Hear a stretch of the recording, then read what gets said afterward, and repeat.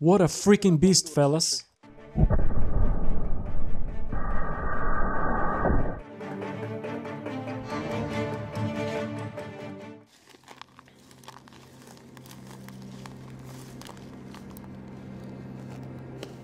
Hey, get up! It's time to film Rockus. God damn you.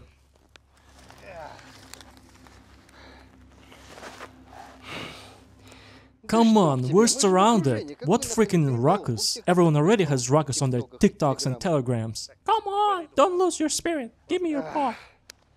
Fine.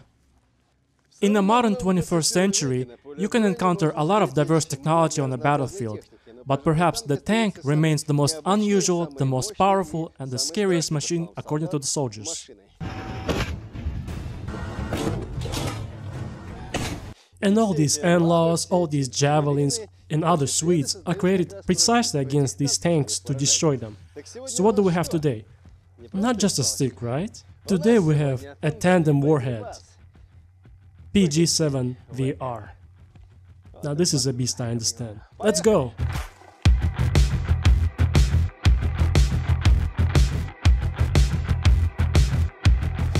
I bought myself a poncho here in case of rain, and the rain started as usual. But tanks are not afraid of dirt, so to speak, and rain too, so they drive around here with all their might. And I have to peel off the electrical tape and look at this thing, which is called a starting engine and a starting charge. Well, actually, a reactive charge. In the 80s of the last century, they began to actively develop and implement reactive armor. Cumulative ammunition became more and more powerful. The thickness of the armor could not always cope with this crap.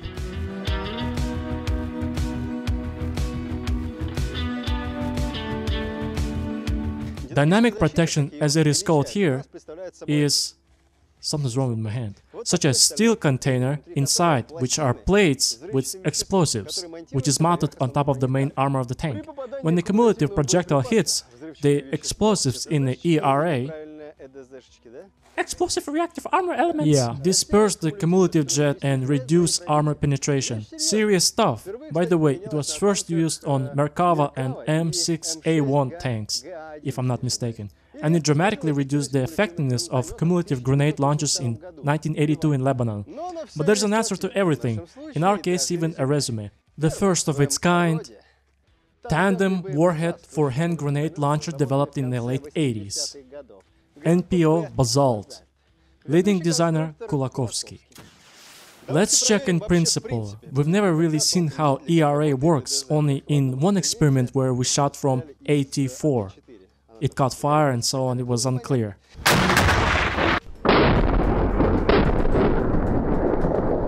ERA is the element of dynamic protection of the tank. In our case, Kontakt-1, right? Most likely. Yeah, most likely Kontakt-1 here. In short, let's see how this thing works in general. This is from a working tank, if you understand what I mean. Now we will first blast a regular RPG and understand how it reflects at all. Does it even reflect? Well, the rain has stopped. What's the point of comparing Soviet with Soviet? Let's compare Soviet with Swedish. A good composition, I think, yeah? This is the most common AT4. Well, how common? In general, Swedish, quite comfortable grenade launcher. By the way, you can watch its review on Boosty. We released it and there is, by the way, a more advanced version of this very ordinary AT4, the confined space version. That is behind this counter-mass jet, which will be 30 meters here, and there it simply will not be, because behind it is a liquid that completely disperses this jet. It just evaporates. It sounds beautiful in slow motion, so you can watch it on Boosty. And now I'll hit the cumulative jet, because here in the AT4 there is also a cumulative jet that penetrates 450 millimeters like our PG-7L, that is the beam. So let's blast from this first. Handle, aiming device, the first, the second. Next, we pull out the pin located at the back of the grenade launcher. We cock the trigger mechanism like this. We press the fuse and launch. And actually, let's blast it. Let's go.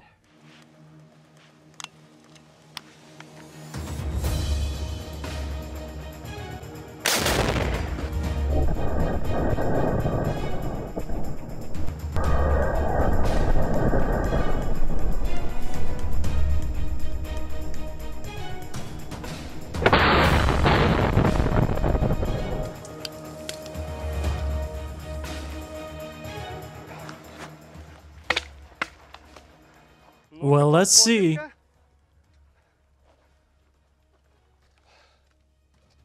So, what do we have here? Look, secondary fragments hit the second block. The second block sounds like an energy block. But look, this ERA, it basically fell out of there, and look how it looks. And you know what? I don't think it worked this time. And the AT-4 grenade launcher stuck its cumulative jet all the way. The Swedish grenade launcher has a lower aiming bar at 100 meters, and I was afraid that, God forbid, the projectile would not fly higher or break this rope on which all of this ERA is held. Because I only have one rope and I only had one AT-4. By the way, its recoil is almost three times more than the previous AT, which we filmed for Boosty. And apparently, I hit where I was aiming. I thought it was necessary to lower it lower to hit 50 meters. Lowered it a little lower and hit just under the block itself. And I don't think this experiment should be considered ideal because the scientific balance is not observed. Look here. It pierced her wall a little bit to the middle somewhere and slightly hooked this ERA from which the dynamic protection block Kontakt-1 itself poured out. All other blocks did not work at all. Either it was necessary to hit the ERA itself or bring another AT4. Of course, I have it, but not this time. Let's check the penetration depth, so to speak. Here, that's it. For real? We don't have such a size. How would Ivleeva like this size, huh? If you know what I mean. Well, tandem time. In theory, the tandem should break through, and we'll see maybe this time I'll hit better, because you understand yourself, it would be a pity to screw up the AT4 had I hit it a little higher. But for tandems, I have a couple of them.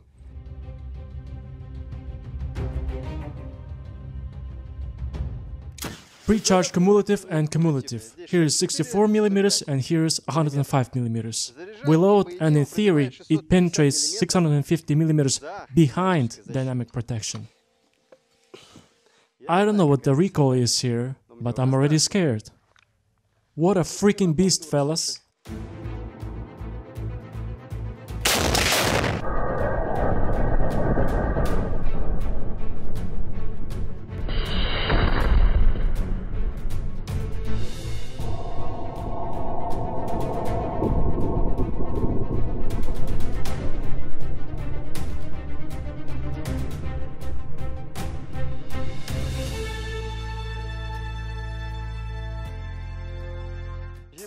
Fragment hit me, imagine. I'm alive. Shit, something seems to had struck me, imagine. Damn it, imagine.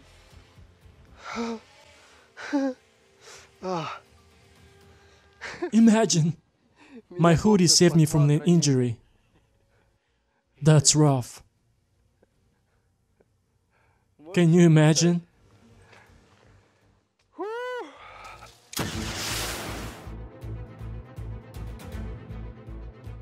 Oh my god, look what happened. Damn it, it didn't explode. Does this mean that this thing doesn't work at all? Because the dynamic anti-cumulative protection completely coped with the task. Look, a small dent, but the cumulative blocks, these anti-cumulative ones, are broken into pieces. Look here. What happened? That's right. But the armor would definitely not have been pierced. The wall was slightly damaged. One box is in ruins here, and one block has been poured out since last time. And what's next? Look, this thing pierced at a distance, and moreover, a fragment flew into me. Pierced it across, damn it. Of course I wouldn't forgive it for that. Ah, what can I say? One small conclusion suggests itself. Either this thing will work now, or I quit. Okay, just kidding. Where can I quit? Sue me, and then maybe I'll do it. So what about the fact that the anti-cumulative protection of tanks is capable of killing the shooter. In my opinion, this is a completely real task. If you get close to a tank, I do not recommend shooting from a tandem with the resume, or rather, the resume is so-so.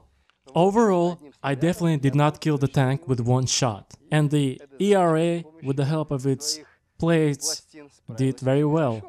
PG-7VR also weighs 4.5 kilograms like TBG, a thermobaric ammunition for RPG-7. It is capable of penetrating a brickwork of 2 meters or a layer of reinforced concrete of 1.5. The wall of pillbox is 2.7 meters. The maximum firing range is 150 meters. The maximum flight speed is 200 meters per second. Since the shot, due to its huge weight, had a different ballistics, it was necessary to refine the sighting complex.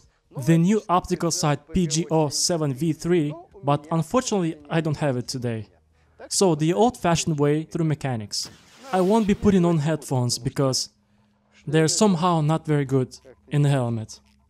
The helmet will be too big. By the way, I can't hear shit. Yeah. Damn, what a dumbass. Look, after the shot, something happened. Something really got stuck there. In a pipe. Damn, a piece of this shit got stuck here. Yeah. Don't forget to clean the weapon before use.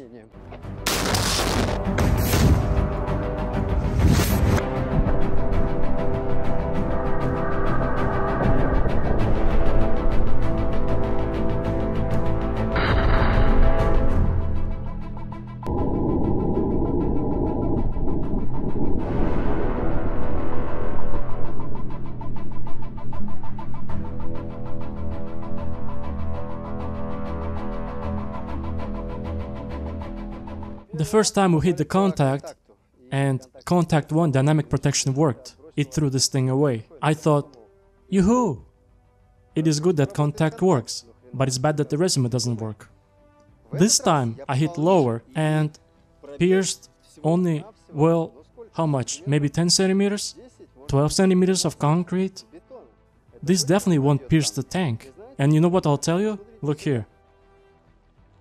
The head of the resume, or the head if you want, remained in exactly the same condition. Write in the comments maybe I'm doing something wrong and you may have more experience. Maybe something is wrong with the powders or I took the wrong powders. The powders are actually 7PR, the most suitable ones. Either something is wrong with this experiment or something is wrong with the design of the ammunition itself. Perhaps it does not have time to accelerate, or the jet engine does not have time to really open normally. Or there isn't enough reaction, or there is some firing distance from which, so to speak, you need to start from. But we did not find any information about this. I will still move 5 to 10 meters further out and blast it again. In principle, even if we don't hit, it should still penetrate 650 millimeters of armor, or 650 millimeters of this concrete, I don't know, after all. Loading the last ammunition for today. Let's try to hit. If I don't hit, please don't be angry with me. I only have three of these, and I can't figure out what's wrong with this ammunition.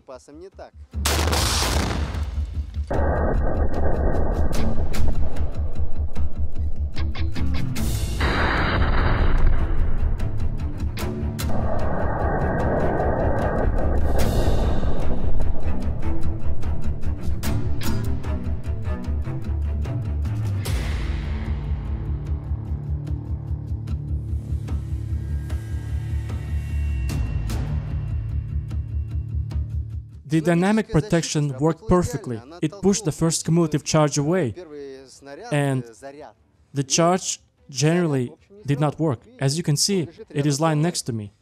We see the explosive that is inside, and we even see a funnel. Here it is, the very cumulative copper funnel. Look, the division is completely turned off, and this one, look how it opened. It just opened. It's very cool. Now it worked as it should, and that's good. If you have a tank, then believe me, before you go into combat, be sure to check that it is there. I mean, Kontakt-1 or Relikt or something like that. Overall, this is important because a tank without dynamic protection can probably be hit, even with the conventional RPG, if you shoot a lot at it, for example, with a beam. Well, there remains an unclosed gestalt. Oh, by the way, anybody got a lighter?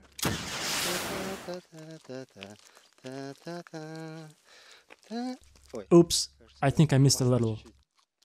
In short, look what I'm thinking. I decided to set it on fire. In short, it will be like this. I'll set it on fire now and see what happens to it.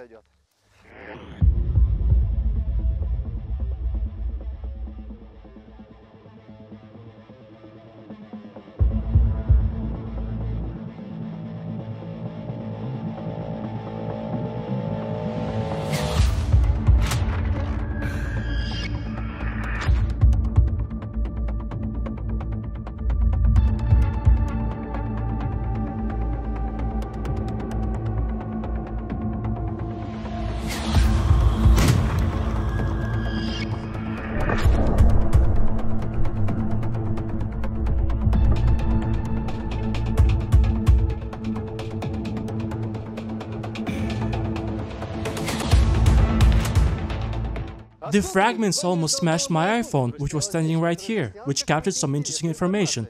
And the information is that Volodinka, who is actually the operator, I tell him not to come near it, might explode at the very end. And he was like, I'll come and turn off the slow-mo camera now. And he turned it off, and it exploded like a son of a bitch. It almost smashed the iPhone, and the fragment landed right there behind him. We'll see it now. Look, it even melted the freaking asphalt here. Let's see.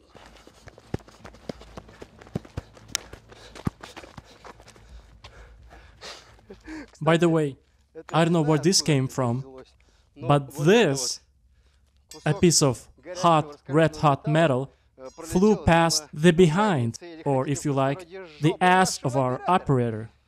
So it's time to draw conclusions.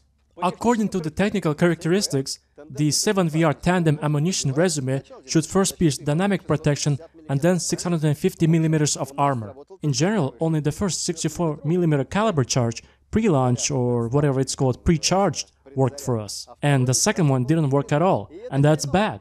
It's not that I want to criticize Soviet weapons, I don't usually do that, but if we did everything right, then please tell us what's wrong with this ammunition, because it didn't work. It's heavy caliber rockets with you, and don't switch, it will be more interesting further. I hope.